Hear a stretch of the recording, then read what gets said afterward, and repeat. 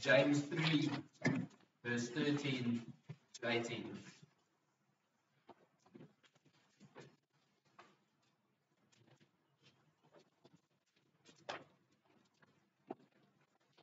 James 3, verse 13 reads Who is wise and understanding among you? By his good conduct, let him show his works in the meekness of wisdom. But if you have bitter jealousy and selfish ambition in your hearts, do not boast and be false to the truth. This is not the wisdom that comes down from above, but is earthly, unspiritual, demonic. For where jealousy and selfish ambition exist, there will be disorder and every vile practice.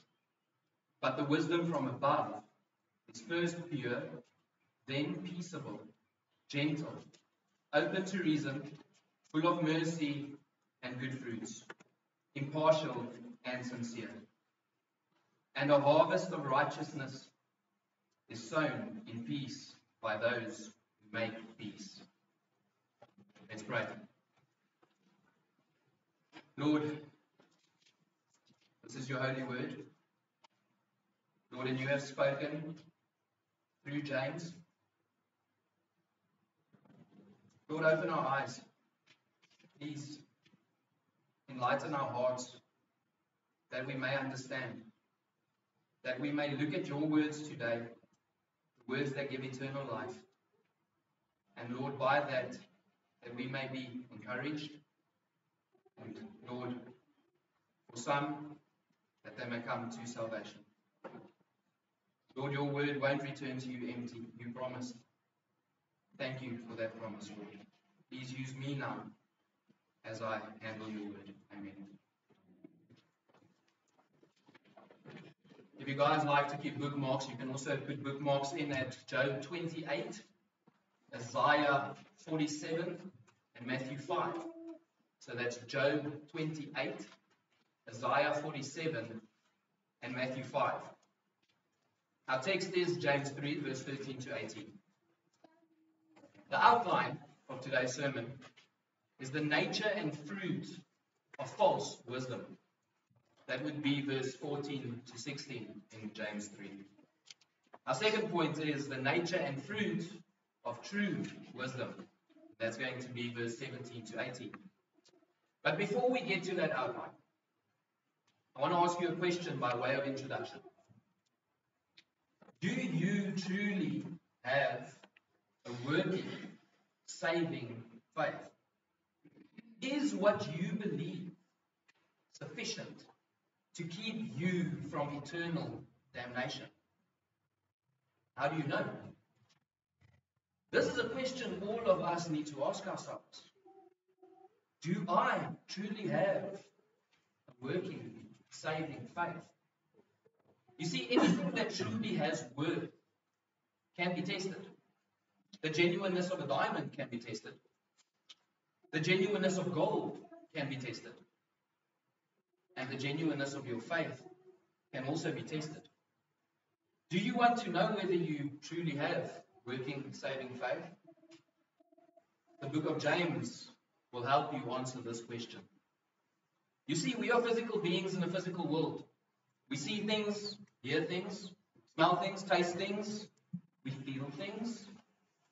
I mean, do you believe that the sky is blue? Why?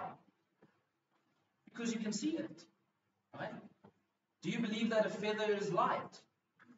Why? Because you can feel it. But how do I know whether I truly have a working, saving faith? Can you touch God? Can you put your hand into his side like Thomas did?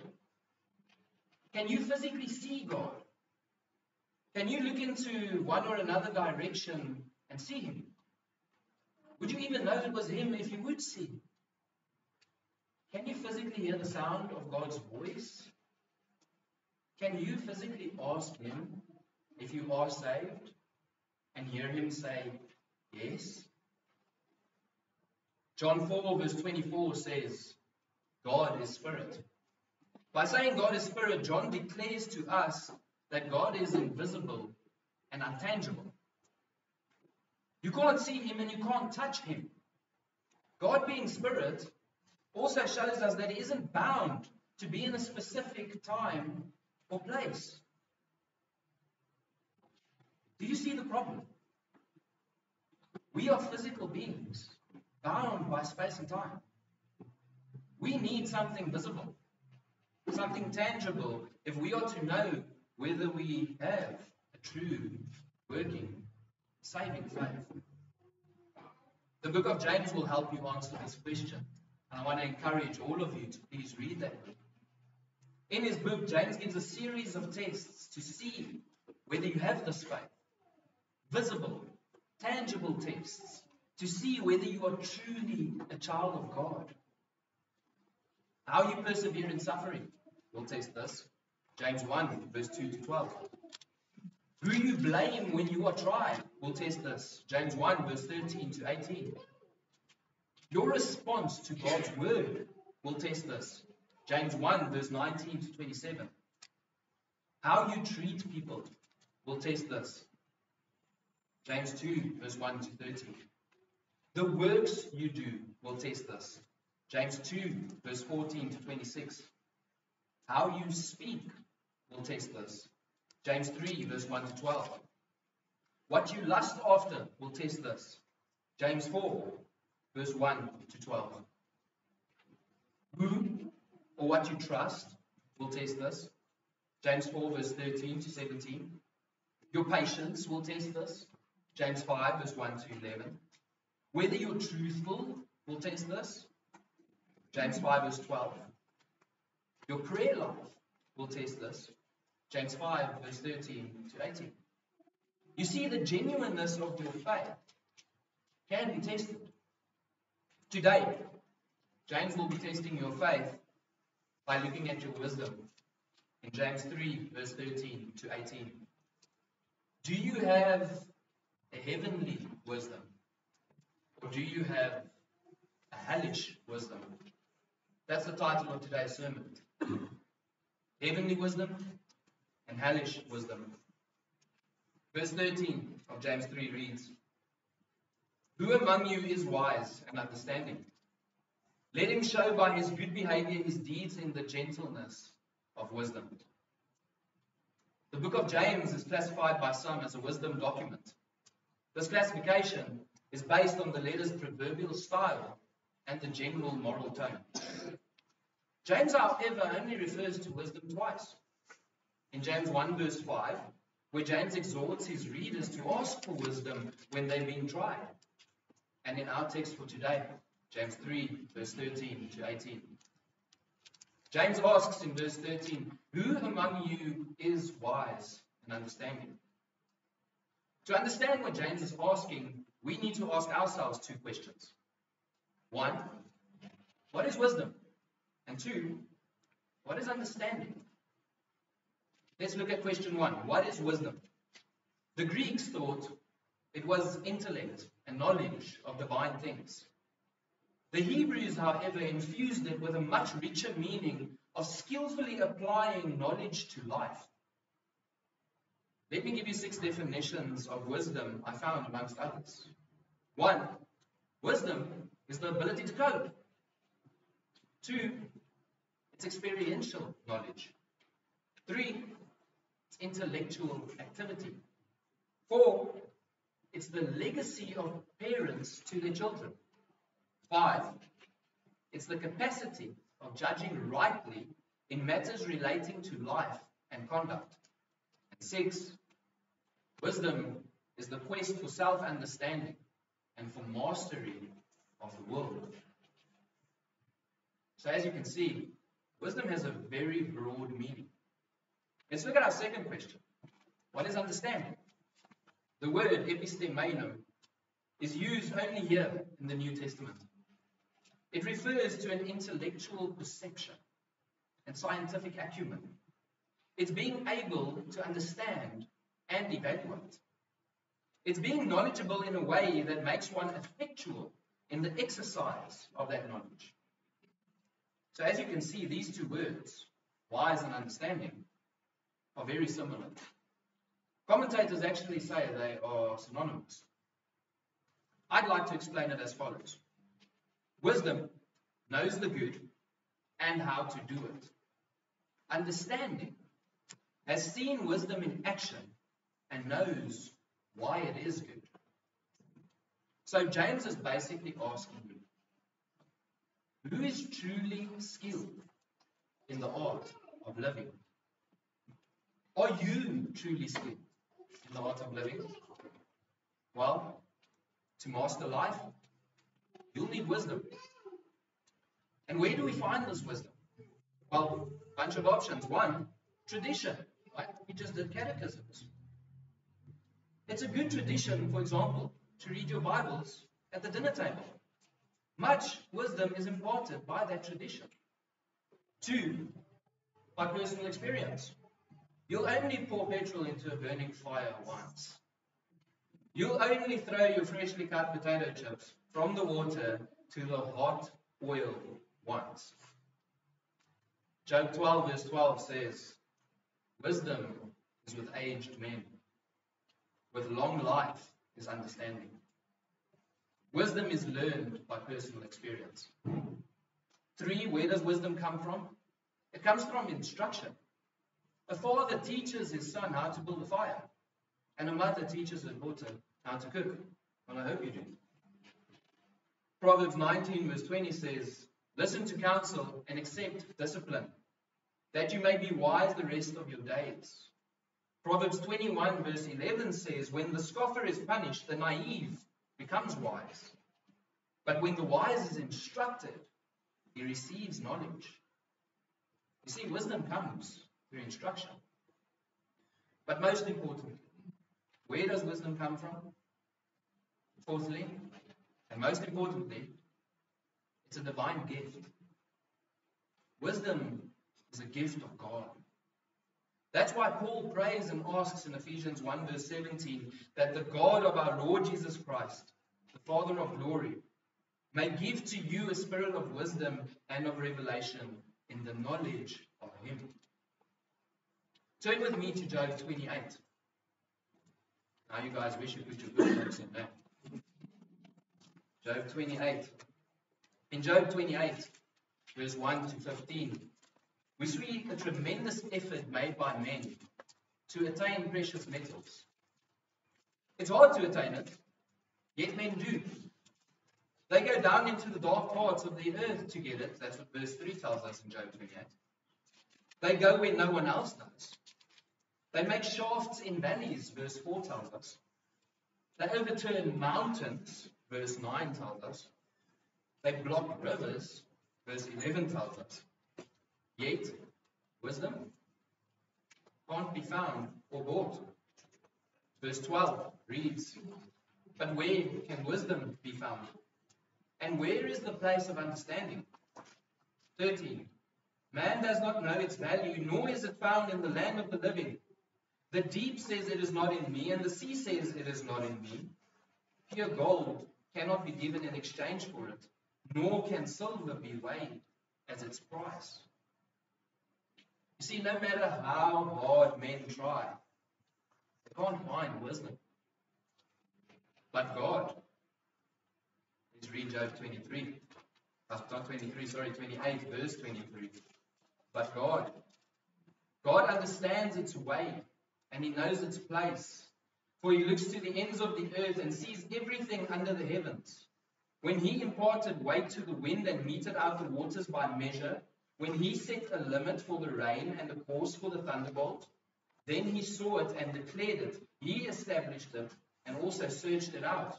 And verse 28 says, And to man he said, Behold, the fear of the Lord, that is wisdom, and to depart from evil is understanding.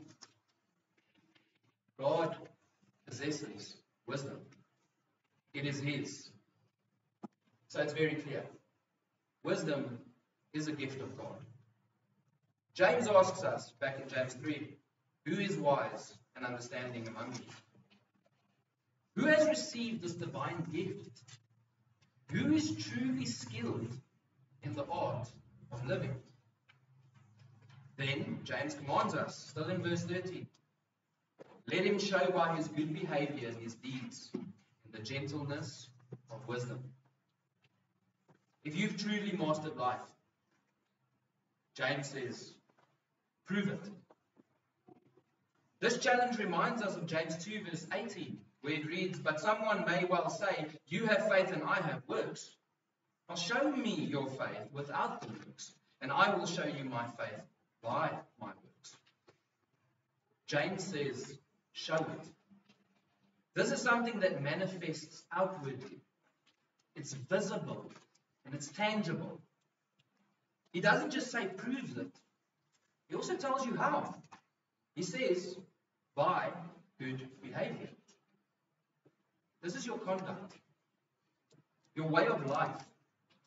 What you believe and what you possess are proven by your behavior. And not just your behavior, but also your deeds. What are you doing? What do you toil for? What do you put your energy into?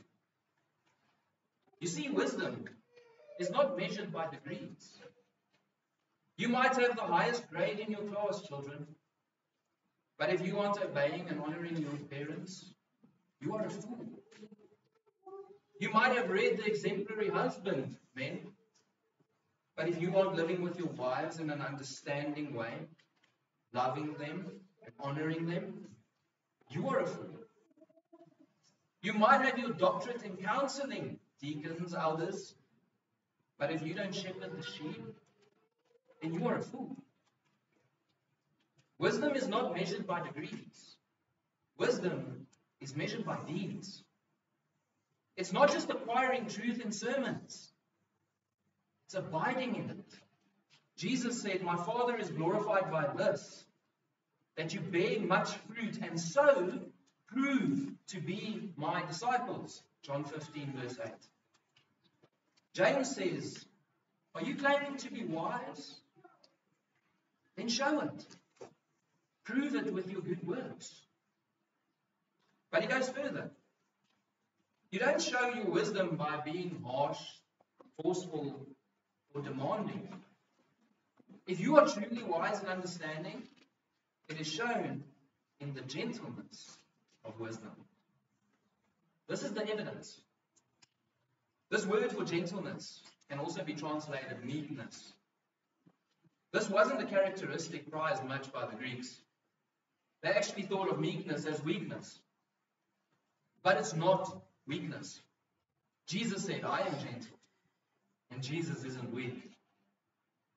In Matthew 5, verse 3, we read, Blessed are the poor in spirit, for theirs is the kingdom of heaven. The poor in spirit are those who are completely incapable of helping themselves. These blessed ones are in recognition of their complete worthlessness. But Matthew 5, verse 5 says, Blessed are the gentle, for they shall inherit the earth. Being poor in spirit is almost the same as being gentle. But where the poor in spirit recognizes his complete inability in and of himself, the gentle, the meek person, recognizes God's complete ability to enable him. Meekness is supreme self control empowered by the Holy Spirit of God. It's God's power enabling man for God's glory. It's not the use of God's power to call down lightning from heaven upon unbelievers. It's the use of God's power for God's glory. And it always translates to others. Galatians 6, verse 1 says, Brethren, if anyone is caught in any trespass, you who are spiritual, which we all claim, restore such a one in a spirit of gentleness. Don't go and fight with him. Don't go and hurt him. Ephesians 4, verse 1 to 2 says, Therefore, I, the prisoner of the Lord, implore you to walk in a manner worthy of the calling with which you have been called. Right? If you want to walk worthy of the calling with which you have been called, listen what Paul says, Ephesians 4, verse 2. with all humility and gentleness. So, wisdom is the right use of knowledge, and meekness is the right use of power. And these two go hand in hand. Are you truly skilled in the art of living? Then show it by your behavior and deeds in the gentleness of wisdom. But, verse 14 starts with a but. And this brings us to our first point in our outline. That was only the introduction. One, first point in the outline the nature and fruit of false wisdom. Verse 14 reads But if you have bitter jealousy and selfish ambition in your heart, do not be arrogant and so lie against the truth. It's easy to lie to ourselves and against the truth. How many times were you sure that you locked the front door? Yet, when you returned home, the door was unlocked. How many times were you sure you packed that thing in? Yet, you found it on the kitchen table as soon as you returned back home. You see, it's really easy to lie to ourselves and against the truth. But James gives us a test. A test so that we may know. The test is what's your motive behind your so called wisdom? Is it out of bitter jealousy and selfish ambition? In other words, is it against others and for yourself? James says in verse 15 that this wisdom, this selfish, jealous wisdom, is not that which comes down from above, but is earthly, natural, and demonic. Think about Satan for a second. I bet you he studied the scriptures as soon as they were canonized. But why? Was it to build others up or to tear them down? Was it for the glory of God and the humbling of self? It was out of bitter jealousy and selfish ambition.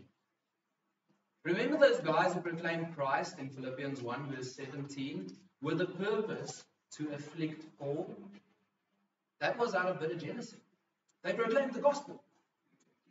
Remember the false teachers in 1 Timothy 6, verse 5, who preached with a purpose to gain money? That was out of selfish ambition. This is something that's hard to discern. It's hard because our text says it's in the heart.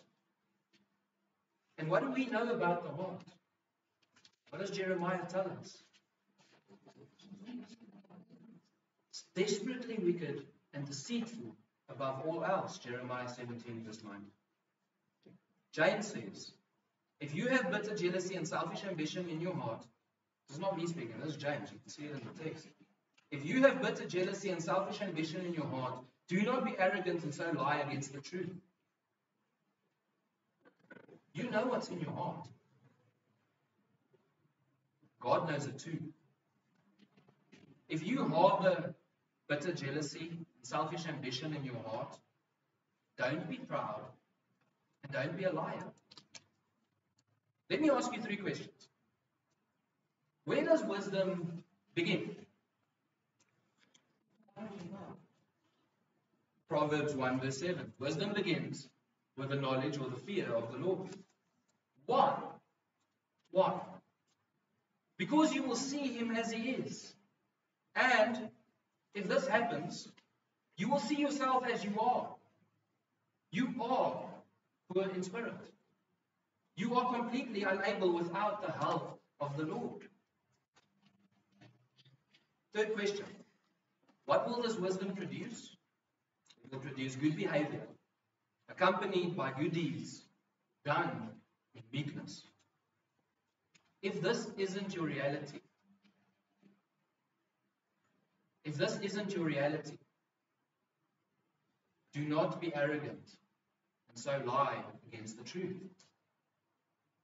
Knowing the Lord, who He is and what He did, produces a life that corresponds to the truth, a life that is truly lived skillfully.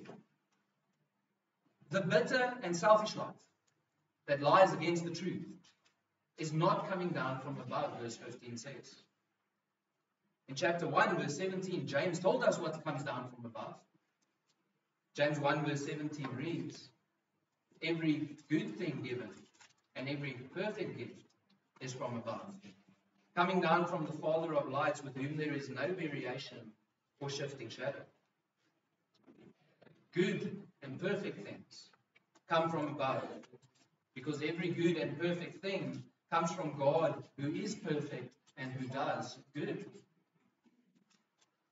Some commentator writes, just as the evil of the tongue is set aflame by the evil of hell, verse 6, the good works of the wise are enlivened by the goodness of God. But this bitter and selfish wisdom has three characteristics which we find in verse 15. This hellish wisdom is one, earthly, two, natural, and three, demonic. It's, a, it's an ascending order, ascending from bad to worse, ascending further and further away from God. Let's look at these three characteristics of hellish wisdom. One, it's earthly. It's not heavenly. That means it has zero eternal value. It seeks its answers within the box, the box of creation. It uses microscopes and telescopes and stares at creation trying to find wisdom. It attempts to calculate its way through the world by shifting shadows and of its natural lights and indeed even imitating. It's bound with material and physical concerns. This wisdom is vulnerable to decay. It's philosophical and it's rational. It turns to psychology. It doesn't consider God's revealed will. It focuses on what makes the creature happy. Proverbs 14, verse 12, describes this wisdom perfectly. It says, There is a way which seems right to a man, but its end is the way of death. This is hellish wisdom. Our second characteristic of hellish wisdom is it's natural. It's not spiritual. It's devoid of the Spirit of God. It's like an animal. If it's, it's all driven by its passions. If it's hungry, it eats. If it's tired, it sleeps. The Greeks use this word to contrast bodily appetites with the life of the inner person.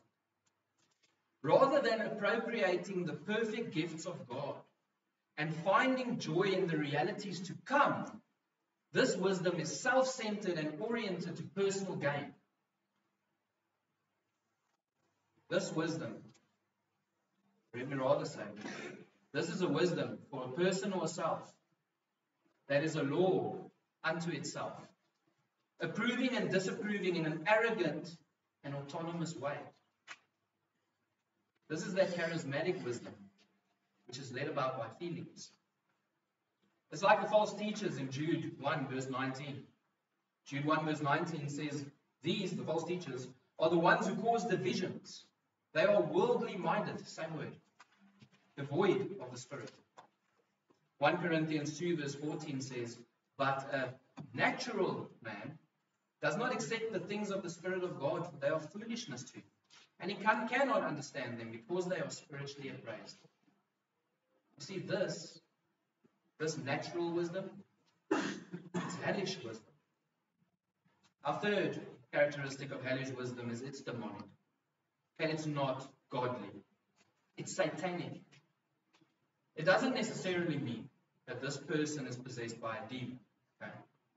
But he or she is certainly following Satan's schemes whether they know it or not. Human interests serve satanic interests. When the course of one's life is so directed away from God, even when God is in one's superficial religious profession, the effects are demonic. Even the Apostle Peter fell in this trap. And do you remember what the Lord said to Peter in Matthew 16 23? Let me help you. In Matthew 16, verse 16, Peter acknowledged who Jesus was. In verse 17 of Matthew 16, Jesus told him that this knowledge was not revealed to Peter by himself, but it was revealed to him divinely. Then in verse 21, Jesus prophesied about his suffering, death, and resurrection. Right? But Peter had a demonic agenda. Matthew 16, verse 22. Peter took him, Jesus, aside and began to rebuke him, saying, God forbid it, Lord, this shall never happen to you. You see, it's demonic in the sense that that is exactly what Satan would have hoped for. The devil didn't want Jesus to accomplish redemption for sins. Jesus told Peter in verse 23 of Matthew 16, Get behind me, Satan. You are a stumbling block to me. For you are not setting your mind on God's interests, but on man's. Jesus, in the most painful way, corrected Peter for serving the satanic by being so very human centered in his interests. You see, human interests serve satanic interests. And this is hellish wisdom. These three adjectives earthly, natural, demonic serve as an important bridge to our next verse. James is now going to justify his harsh verdict. In verse 16, James says, For, for when jealousy and selfish ambition exist, there is disorder in every evil thing. If you have jealousy in your heart, that is, you are pained at someone else's good fortune, thinking it's something you deserve, there will be disorder in every evil thing. If you have selfish ambition in your heart, that is doing whatever you do for yourself, there will be disorder in every evil thing. You see, our God is a God of order. That's why you guys have this.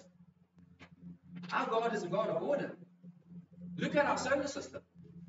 If I may personify the sun, what do you think would happen if the sun, out of jealousy, decided to go and live in another galaxy, another solar system? Disorder, right? Let's look at our hydrologic cycle and personifying the sun again.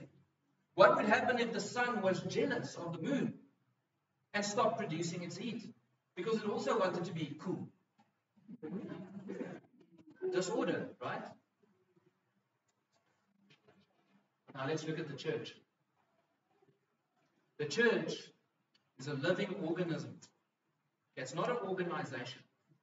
It's an organism. It's alive. It has a head. Jesus Christ, our Lord. And we all know how a chicken's body reacts when you remove its head.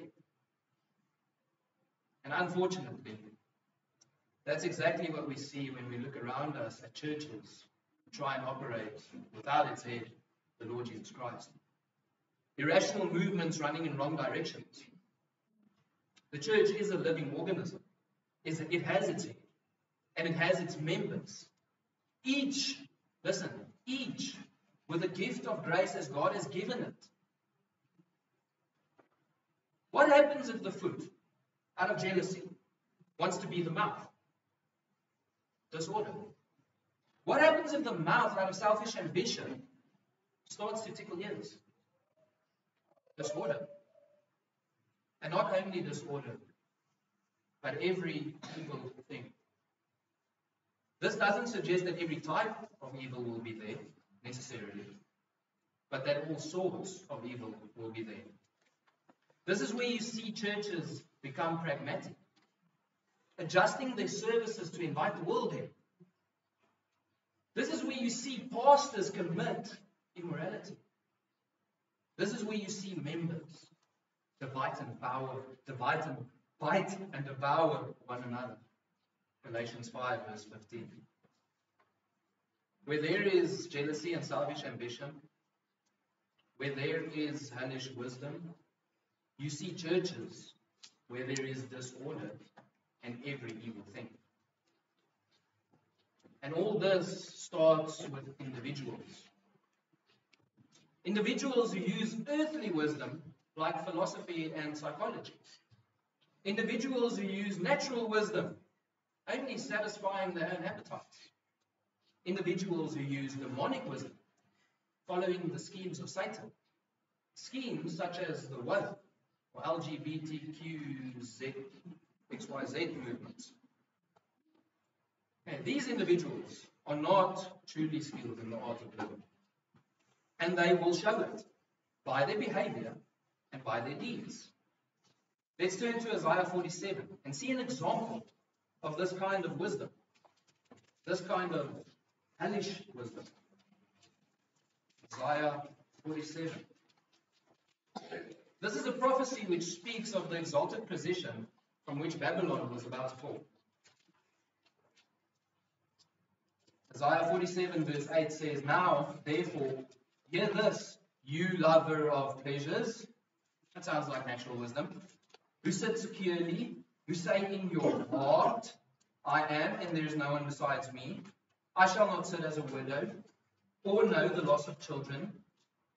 These two things shall come to you in a moment, in one day the loss of children and widowhood shall come upon you in full measure, in spite of your many sorceries and the great power of your enchantments. You felt secure in your wickedness, every vile practice. You felt secure in your wickedness. You said, No one sees me. Your wisdom and your knowledge led you astray. And you said in your heart, I am, and there is no one besides me. But evil shall come upon you which you will not know how to charm away. Disaster will fall upon you, for which you will not be able to atone, and ruin shall come upon you suddenly, of which you know nothing. Disorder. Disorder because of these people.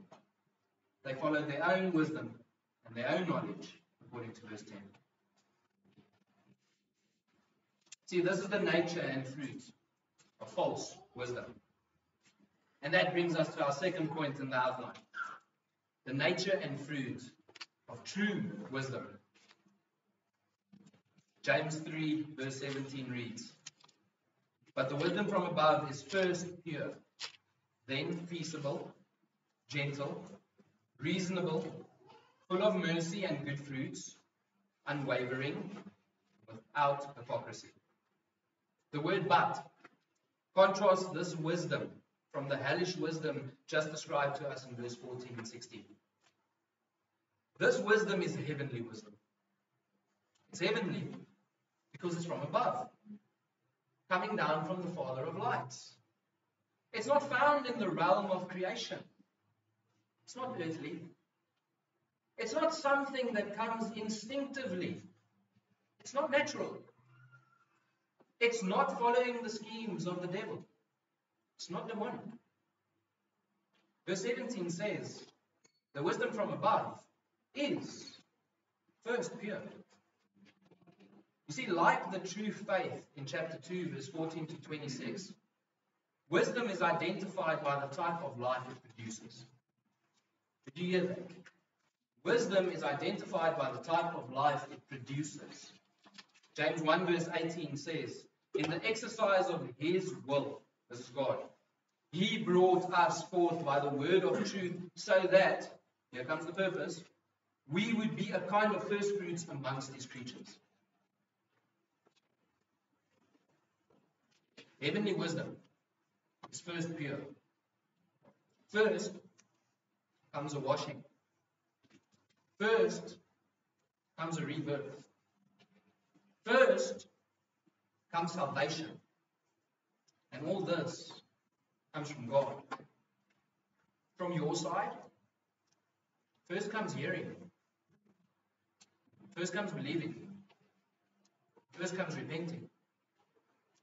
Only after this first act are you pure. The root word for pure is hagios. In English, that's holy. That's why the Lord elected us, according to Ephesians 1, verse 4, to be holy to be pure. It's to be innocent. It's to be morally blameless. And you can only have this in Christ. You see, you first need to be washed and saved in Christ. And you first need to believe in Christ. Without this purity, which you only find in Christ, without Christ, you won't see the Lord. Matthew 5, verse 8 says, Blessed are the pure in heart, for they shall see God. Our text says, James, the wisdom from above is first pure, then peaceable, gentle, reasonable, full of mercy and good fruits, unwavering, and without hypocrisy. Purity is the source from which the following virtues flow. Can a blind man see? Can the dead react? Can a bad tree produce good fruit? See, without this purity, your best deeds are filthy rags. But if you are pure, if you have been washed, if you have believed, then the following virtues will follow.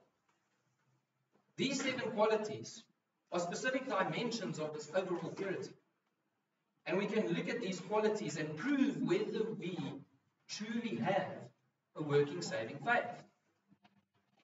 The first three peaceable, gentle, reasonable start with the same letter in Greek and end with the same letters. Okay, they form our first group. And let's look at each of them. One, peaceable. This person protects unity. This peace stands opposite to the disorder we just looked at in verse 16. Proverbs personifies wisdom and says in Proverbs 3, verse 17, her, that's wisdom, her ways are pleasant ways, and all her paths are peace. Proverbs 16, verse 7 says, When a man's ways are pleasing to the Lord, he makes even his enemies to be at peace with him. Does that describe you? Is your purity manifesting in a characteristic of peace? Our second quality of heavenly wisdom is it's gentle. The person who is peaceable will be gentle. And this is to be considerate, kind, sensitive. It's a sweet reasonableness. It's not to insist on every right of letter, law, or custom.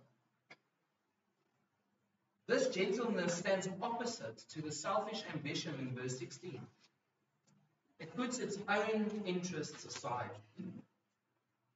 It has a willingness to yield to others and a corresponding unwillingness to exact strict claims. Paul actually requires that overseers be like this in 1 Timothy 3, verse 3. Are you gentle? Is your purity manifesting in a characteristic of gentleness? Our third quality of heavenly wisdom is it's reasonable. This person is teachable and easily persuaded. This person willingly submits to God's will and is willing to yield when it doesn't matter.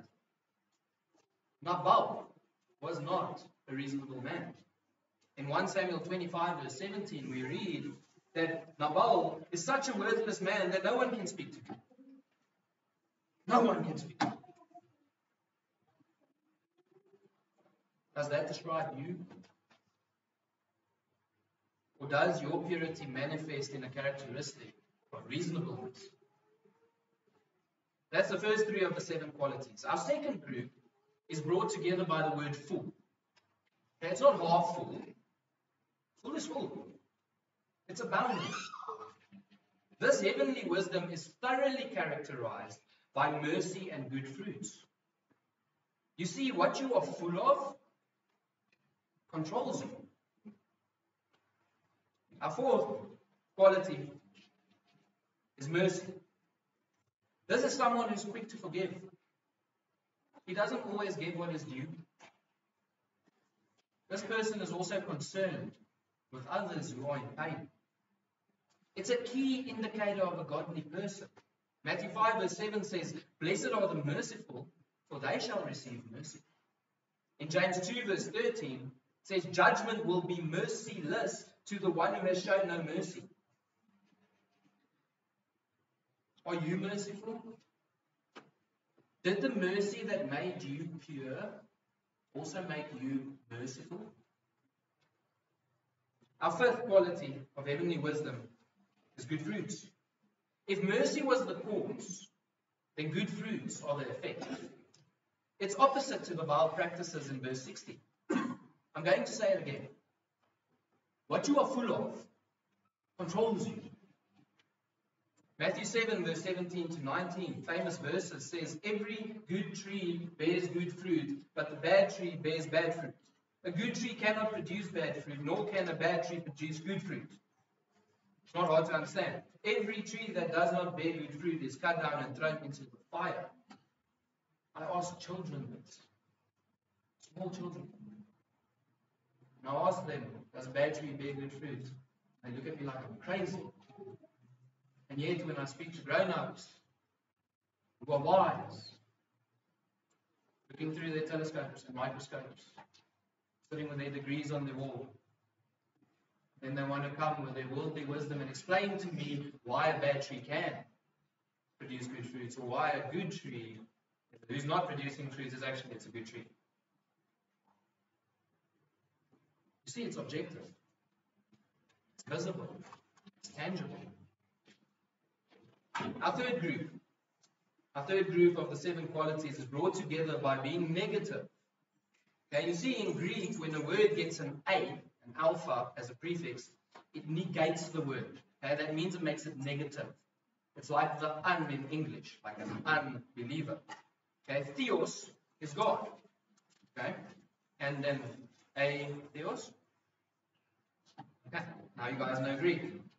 Okay, but a negative isn't always negative in the sense of being bad. Being unworldly isn't bad. It's good. Our third group is a negative group, but these negative qualities are good.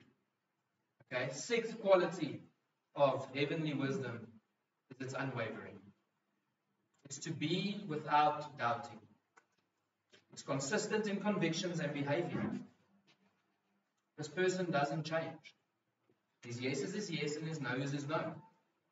He's not like the one who doubts in James 1 verse 6. He's not like the surf of the sea, driven and tossed by the wind.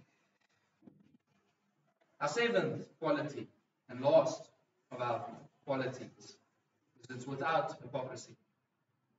This person is sincere and authentic. He is at church, who is at home. He has a singleness of heart. He is true to his being, and he isn't playing a part. See, these seven qualities are specific dimensions of the overall purity. And they take us back to verse 13 in James. James asked, Who is wise and understanding among you? And the answer is, Those who are pure. And because of their purity, they show these seven qualities. Don't forget, heavenly wisdom comes from above. Right? It's not found in the box of creation. It's not something that comes instinctively. Anyone who has children knows that. It is from above, coming down from the Father of lights, with whom there is no variation or shifting shadow. You see, like the hellish wisdom produces after its own character, so does heavenly wisdom. And, James says in verse 18, and the seed whose fruit is righteousness is sown in peace by those who make peace.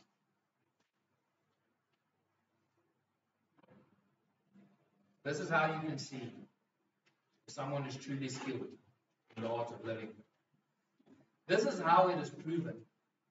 If you are truly wise and understanding, you are truly wise and understanding, then you will be making peace. This is the good works that result from salvation. Like God who is good produces good. Like God who is merciful produces mercy. So those who have received peace will make peace. Peace is both the manner and the means. And what is the ultimate peace? With God. Peace with God. You see, you need to share the gospel. You need to warn people of the wrath to come. You need to tell them the good news about Jesus who lived, died, rose again to pay for sins of those who would believe. Please believe. I beg you believe. Come today while you can. Please, please. If you do this, don't do it through fights and quarrels. Do it in peace. Do this and you will see people be reconciled unto God. People will have peace with God and they will start bearing fruit of righteousness. I've seen that. One of them is sitting in that room, feeding my kids. That is the nature and fruit of true wisdom. So, are you wise and understanding? Do you truly have working, saving faith? Then you need to pass this test that God has set before you today. You need to show it by your behavior in deeds of gentleness. Are you truly skilled in the art of living? Then stop being jealous. Start rejoicing at other people's good fortune. Start being grateful for what you have and what you don't have. Start remembering who you are in light of God's revealed word. Start by regarding others as more important than yourself. Are you truly skilled in the art of living? And stop being selfish. Start thinking of other people's needs. Start considering how you can serve one another. Start giving instead of wanting to receive. Start praying for other people instead of only praying for yourself. Are you truly skilled in the art of living? Stop being earthly. Start seeking your answers from the God of creation and not the creature. Psychologists and philosophers don't have answers. Stop being natural. Start saying no to your flesh. Eat less, sleep less. Start disciplining your body and don't let sin reign in it. Are you skilled in the art of living? And stop being demonic. Start learning what God says about man, sexuality, justice, what God says about the church. Start discerning between the wisdom from below and the wisdom from above. Do you have heavenly wisdom? and prove it by grounding your truth claims in the Word of God. Seek the answers to your problems in Holy Scripture. 2 Timothy 3, verse 16 to 17, which I hope you all know, says, All Scripture is breathed out by God and profitable for teaching, for reproof, for correction, for training in righteousness, so that the man of God may be adequate, equipped for every good work. Do you struggle with depression? Do you struggle with anxiety? Do you struggle with lust, greed? Name it. God's word has the answer. So that you may be adequate, equipped for every good work. Do you have heavenly wisdom? Prove it by obeying God's commands and instructions found in His Word. 1 John 4, verse 6 says, We are from God. He who knows God listens to us. He who does not he who is not from God does not listen to us. By this we know the spirit of truth and the spirit of error. Obey God. And lastly, do you have heavenly wisdom? Improve it by proclaiming the truth and making peace. You see, a mouth filled with praise results in a mind filled with purity. Who among you is wise and understanding? Let him show by his good behavior his deeds in the gentleness of wisdom. Let's pray.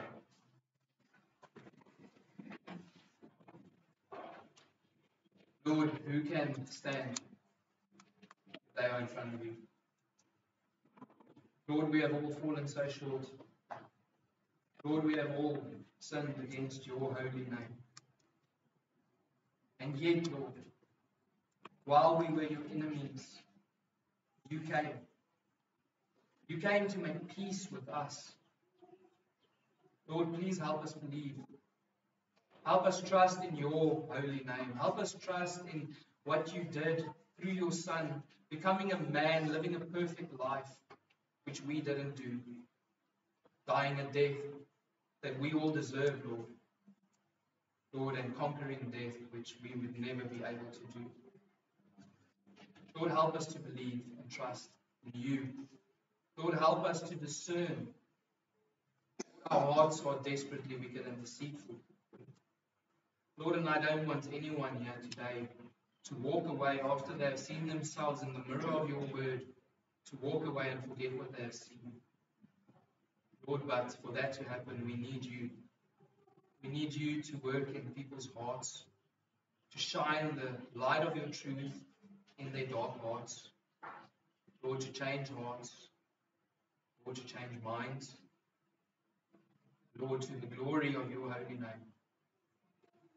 Lord, we are looking forward to see what you are going to do with this wisdom that you have imparted to us. Please help us, Lord, to live in a pure, gentle, peaceful way with other people. Lord, to love them as you have loved us, not because we were worthy, Lord. Lord, we aren't worthy. But you loved us. Lord, help us to love like that and to give like you have. Amen.